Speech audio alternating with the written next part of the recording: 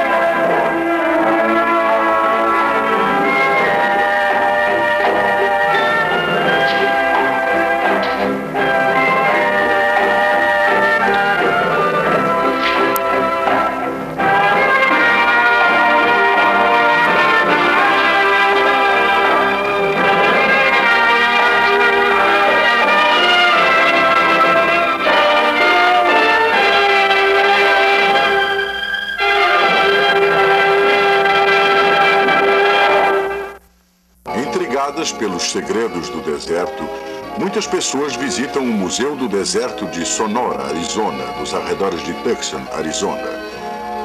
Aqui, exemplares vivos revelam mais sobre o drama e a fascinação da vida do deserto em poucas horas do que um explorador pode conhecer em meses de observação no próprio deserto.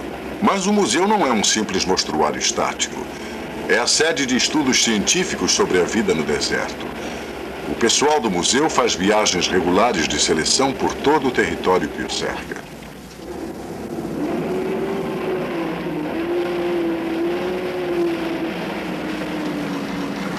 Esta expedição de dois homens compõe-se de Barry Keys, encarregado dos pequenos animais do museu, e seu assistente Bert Larsen. Seu destino é o riacho Sycamore, não muito distante da fronteira mexicana. Sua missão achar e trazer de volta espécimes do raro Sonorion champ, um peixinho que vive neste mesmo riacho e em mais nenhum lugar da Terra.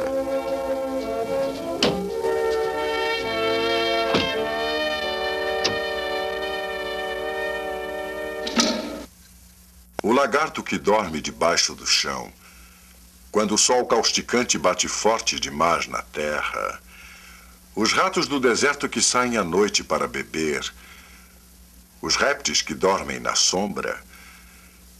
Tem gente que chama o deserto de inóspito, mas para estas criaturas ele é o lar.